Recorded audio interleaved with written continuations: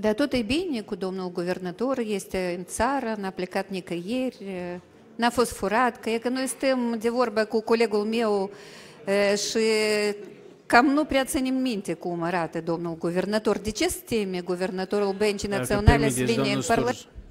Eu Doamna, vă asigur că o să aveți domnul posibilitatea Sturz, să dați-mi voie, vedeți vă rog cu domnul frumos.